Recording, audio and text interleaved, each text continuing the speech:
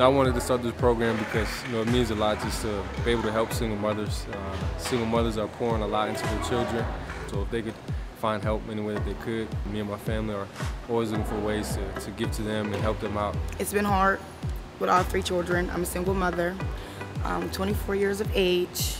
Um, they go to daycare while I work, and outside of that, we've just been tugging it out.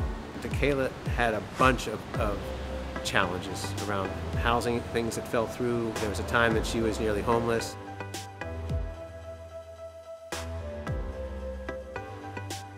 She's just doing so well with her children, but she doesn't have this kind of things. She doesn't have toys. She likes to read to them, but they don't have books. And so to have these things be given to her and have all of this support from Minkah and his mom and sharing their connection, it's just, it's, it's, it's unbelievable. To me, this meant I have some backup, like I have some support.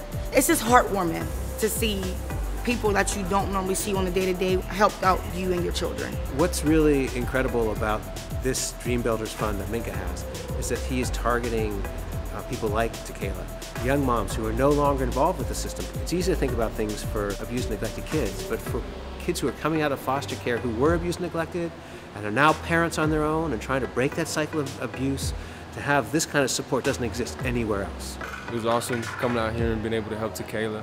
You know, just show her kids some love, some support. Give her a break, let her just sit back, relax, and watch her kids smile, ride around the bike, play the basketball, and it's an awesome feeling uh, knowing that you're putting smiles on kids' faces. Yes, this was this was nice.